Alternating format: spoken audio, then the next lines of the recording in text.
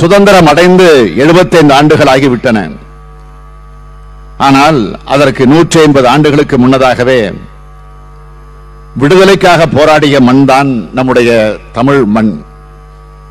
பூலித்தேவர் வேலுநாச்சியார் வீரபாண்டிய கட்டபொம்மன் தளபதி Sundaralingam Oomathurai Dheeran Chinnamalai Chinnamarudhu Periya Marudhu VOC Mahakavi Bharathi Subramaniya Siva T S S Rajan Thillaiyadi Valliammai Thanthai Periyar Thiruvika Namakkal Ramalingam மாவே Singaravelar Bharathidasan Pasumpon Muthuramalinga Thevar Tiruppur Kumaran Rajaji Kamarajar A M Eswaran Omandur Ramasamy Jeeva captain Lakshmi Mapo Sivagnanam K B Sundarambal.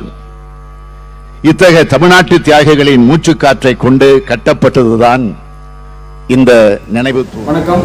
Yadava முரசு பத்திரிகை தளத்தில் இணைந்திருக்கும் அனைவருக்கும் இனிய காலை வணக்கம். அனைவருக்கும் இனிய சுதந்திர தின நல்வாழ்த்துக்கள். நாட்டின் எழுபத்தி ஐந்தாவது சுதந்திர தினம் இன்று நாடெங்கும் கோலாகலமாக கொண்டாடப்படுகிறது.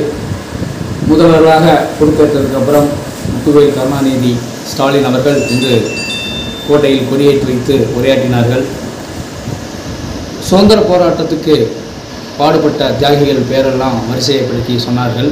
முக்கியமாக இந்த நாட்டுக்கு சுதந்திர காத்தை சுவாசிக்க செய்த மாவீரன் அழகுமுத்துக்கோன் அவர்களுடைய பேரை விட்டுட்டார். இந்தியாவுக்கு விடுதலை வேட்கையை உருவாக்கி பீரங்கி வாயிலால் தன்னுயிர் ஈர்த்த மாமன்னரின் பெயரை இங்கே விடுபட்டிருக்கிறார் முதல்வர் அவர்கள். இது திட்டமிட்டு செய்தாரா இல்லை மறந்து செய்தாரா அப்படிங்கிறது தெரியல.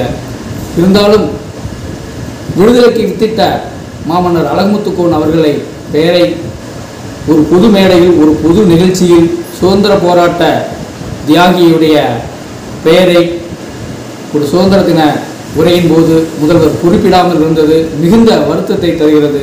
மிகவும் கண்டிக்கத்தக்கது இது.